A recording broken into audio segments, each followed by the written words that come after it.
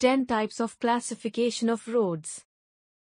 Indian roads are classified as a rural non-urban and urban roads. They are further classified as a national highway, state highway, expressway, village roads, etc. Classification of rural or non-urban roads. The road which is located in the non-urban areas connect cities and towns across the country are called rural roads or non-urban roads.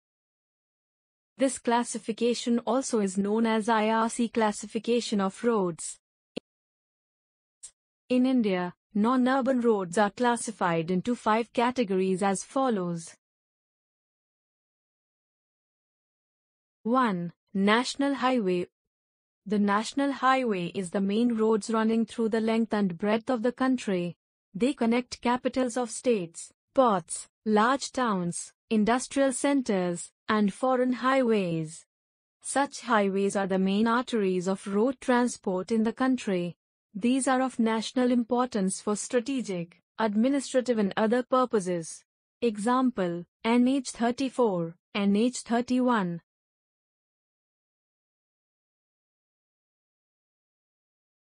Two, state highways. These roads are the main arteries of traffic within a state. They connect important cities and district headquarters within the state. They are also known as provincial highways. These highways are the main arteries of road transport within a state. Example, SH7.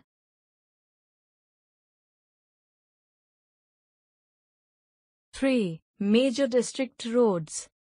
The important roads within a district serving area of production and markets and connecting those with each other or with main highways are known as major district roads.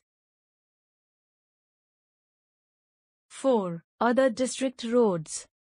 The roads serving rural areas of production and connecting them with an outlet to market centers, taluk headquarters, block headquarters or other main roads are called other district roads. 5. Village roads. The roads connecting villages or groups of villages with each other or with the nearest road of a higher category are known as village roads. Classification of urban roads. The road systems within urban areas are classified as urban roads. In India, urban roads are classified into the following categories. 1. Expressways. The portion of the roadway of an urban road reserved for use only by high-speed or power-driven vehicles is called expressway or motorway or superhighway.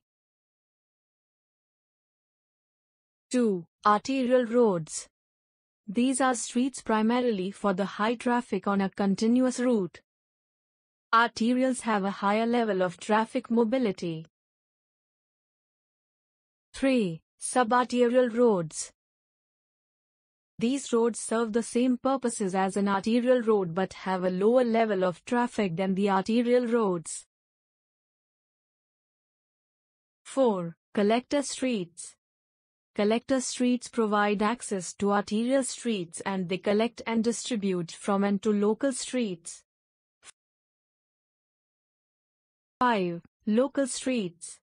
Local streets provide access to adjoining property. These streets do not carry a large volume of traffic.